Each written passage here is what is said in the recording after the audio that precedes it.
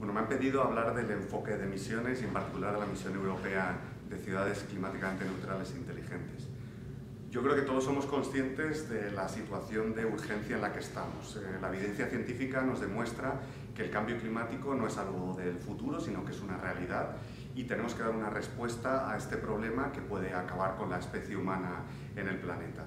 Ante esta situación todos sabemos eh, que es importante reaccionar y lo que hay que hacer, pero lo que es difícil es cómo conseguimos llevar a cabo todas esas medidas de reducción de emisiones y cambiar el modelo de producción y consumo que tenemos.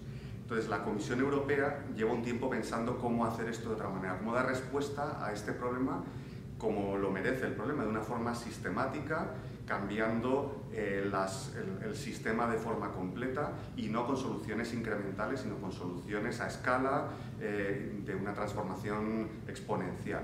Y para eso ha propuesto el desarrollo de unas misiones, siguiendo el ejemplo de Estados Unidos con la misión a la Luna, con la misión Apolo 11, donde se propuso un objetivo muy ambicioso, ilusionante, quizá inalcanzable, pero medible y fácilmente contrastable, la Comisión Europea ha propuesto cinco misiones para responder a los retos a los que nos enfrentamos. Una relacionada con el cáncer, otra con, la alimentación y los suelos saludables, otra con los océanos y las aguas eh, limpias y dos relacionadas con el cambio climático. Una de adaptación al cambio climático y otra de mitigación o de reducción de las emisiones de gases de efecto invernadero.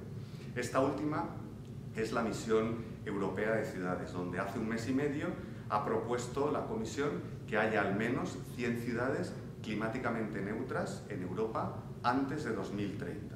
Esta misión, como su nombre indica, pretende que haya al menos 100 ciudades sin emisiones de gases de efecto invernadero en Europa antes de 2030. Pero esto no quiere decir simplemente reducir las emisiones, quiere decir transformar las ciudades. Cuando hablamos de ciudades climáticamente neutras, hablamos de ciudades también saludables, con mejor calidad del aire, con mejor nivel calidad de vida, con ciudades más seguras, ciudades más inclusivas, ciudades al final más saludables y más sostenibles. Entonces se trata de una transformación urbana. Para ello, la misión propone utilizar algunos instrumentos innovadores. Lo primero que dice es que para conseguir esto hace falta un compromiso político serio. Esto no es un compromiso de un alcalde o de un equipo de gobierno, es un compromiso de ciudad y es un compromiso a medio plazo, requiere un compromiso durante 8 o 9 años.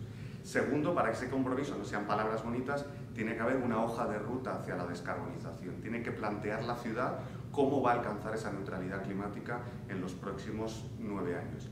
Y como es un problema sistémico y lo que hace falta es transformar el sistema, lo que se plantea es que se elijan unas palancas de transformación, unos ámbitos en la ciudad que sean capaces de fomentar, de provocar la transformación. Y para eso, lo tercero que se propone es desarrollar un, portafolio, una cartera de proyectos transformadores, proyectos que no sean de silos, que no sean sectoriales, solo de movilidad o de edificios, sino que sean proyectos en ámbitos concretos de la ciudad, pero que sean capaces de provocar esa transformación completa. Y luego con nuevos instrumentos de financiación, nuevos modelos, porque hemos estimado también las necesidades de inversión y harían falta entre 10.000 y 30.000 euros por habitante de cada ciudad para que se produzca esa transformación. Y ese dinero no puede provenir de las arcas públicas. De hecho, nuestra estimación es que al menos el 85% de la financiación tenga que ser privada, de la ciudadanía y de las propias empresas. Entonces hay que desarrollar nuevos instrumentos de financiación, nuevos vehículos de inversión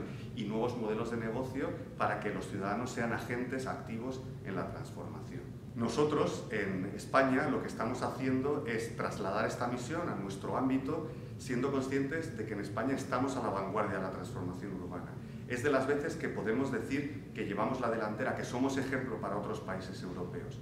Y lo que estamos haciendo es intentando desarrollar e implementar esa misión en España a través de una plataforma de transformación urbana que hemos llamado Comunidad de Transformación de Ciudades dentro de una iniciativa que se llama El Día Después y esta es una comunidad que trabaja con dos aspectos fundamentales. Primero, en equipo, trabajando multiactor, somos una comunidad con personas de la academia, de la universidad, centros de investigación, del ámbito público, de las ciudades, pero también del gobierno del Estado, y con empresas, es decir, agentes del sector privado y también con personas de la sociedad civil, organizaciones gubernamentales, asociaciones de vecinos, etc. Es decir, trabajamos multiactor, de forma coordinada, conjunta, distintos agentes y orientada a la acción.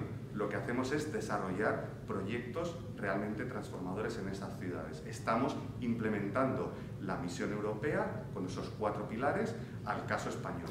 Para eso ahora mismo ya hay 15 ciudades trabajando en la comunidad y algunas de ellas, las cuatro más grandes, Barcelona, Madrid, Sevilla, Valencia, han firmado ya una declaración, un compromiso hacia la neutralidad climática en el Senado con la firma también del Gobierno de España a través de la Vicepresidenta de Transición Ecológica y el Reto Demográfico.